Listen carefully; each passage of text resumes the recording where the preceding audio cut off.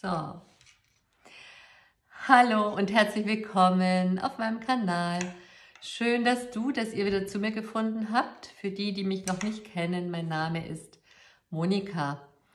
Ja, ich möchte heute etwas Schönes mit euch teilen. Und zwar, ich war mit meiner Tochter in einem Kinofilm und der Film hat uns beide sehr berührt und das ist ja ist ja gar nicht so einfach, dass so etwas stattfinden kann, denn meine Tochter und ich, wir sind schließlich auch Generationen auseinander und genau, und der Film heißt Das Leben ein Tanz.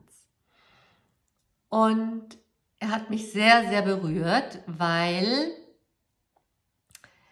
die Protagonistin, um die es geht, das ist die Elise und die ist prima Ballerina. In dem Film ist sie 28 Jahre alt und ihr Leben besteht aus der Bühne, aus dem ähm, klassischen Balletttanz.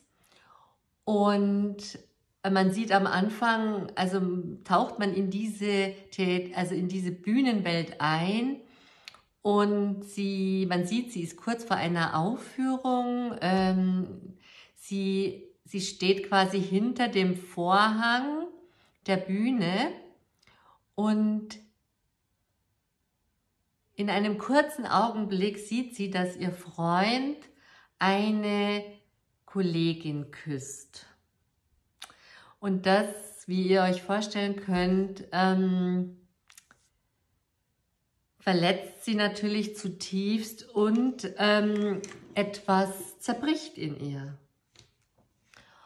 Und jetzt muss man sich vorstellen, sie hat da hunderte von Zuschauern vor sich, die halt an dem Abend eine Ballettaufführung erwarten und man muss erstmal diese Kraft aufbringen, um da rauszugehen und so tun, als wäre nichts, ja.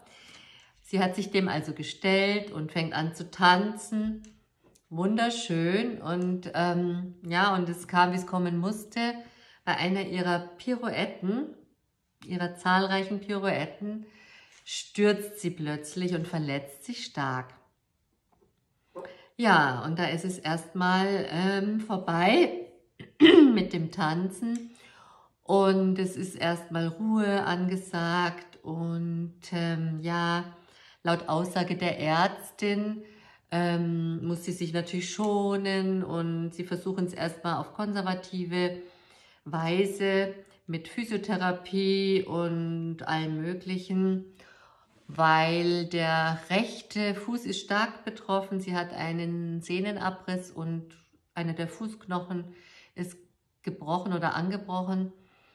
Und ja, sie muss also so einen dicken Schuh tragen und sie geht auf Krücken.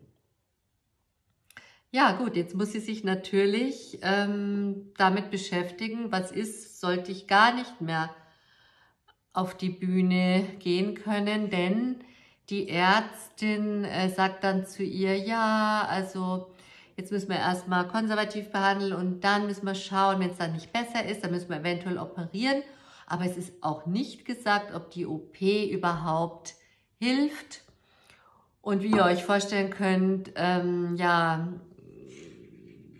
wird sie immer kleiner auf ihrem Stuhl, die Elise, und sie ist traurig und verzweifelt natürlich, ja, über diese Situation. Gut, und dann sie, ähm, ja, ergibt sich natürlich erstmal in ihr Schicksal, was bleibt einem dann auch anderes übrig. Und sie, ähm, sie kommt über eine Freundin von ihr oder über eine Bekannte, kommt sie äh, mit ähm, anderen Tanzkünstlern zusammen, also die eine andere Art des Tanzes ähm, machen und auf ganz spielerische, sanfte Weise ähm, kommt es eben dazu, dass sie ihren Körper und ihren, ihre Muskeln, ihre Sehnen und so weiter wieder trainiert.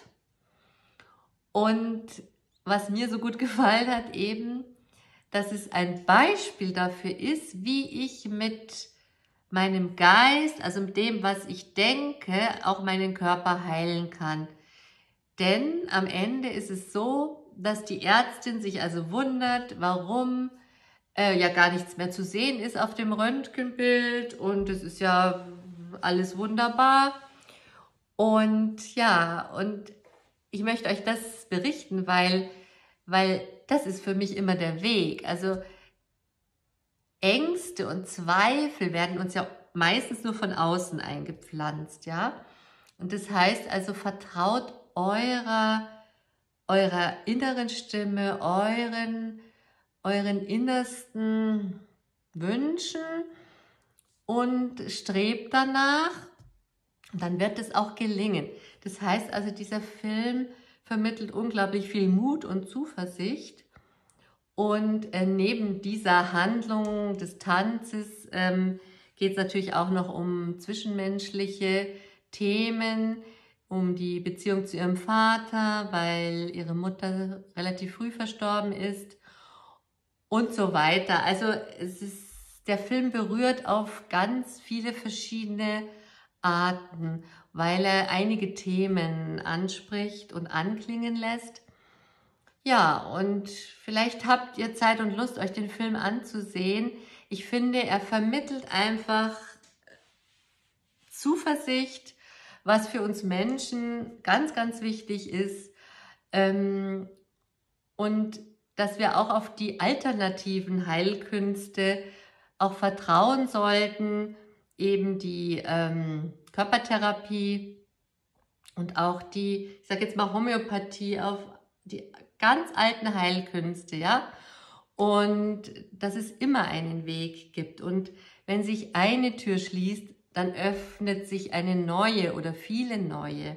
Ja, und für, für Elise haben sich dann, hat sich dann wirklich eine neue Tür geöffnet, ähm, wo sie ähm, ihr Selbstwertgefühl wie zurück, zurückbekommen hat und neues Selbstwertgefühl aufgebaut hat, denn sie hat am Ende hat sie getanzt wie ein Vulkan, also wie eine Schlangentänzerin, so biegsam und, und äh, geschmeidig, unglaublich. Ähm, wenn ihr euch für Tanz überhaupt interessiert, dann ist es auf jeden Fall was für euch, aber auch, auch sonst. Der Film hat wirklich Tiefe. Ja, und deswegen hat er mir und auch meiner Tochter so gut gefallen. Ja, dann hoffe ich, dass ihr euch den Film anschaut und ich würde mich natürlich freuen, wenn ihr mir berichtet, wie ihr ihn fandet. Und ich freue mich natürlich wie immer über einen Daumen hoch, wenn ihr euer Abo bei mir lasst. Und ja, über eure Kommentare, Herzchen, Blümchen, Tierchen. Ihr wisst schon. Okay, macht's gut. Servus.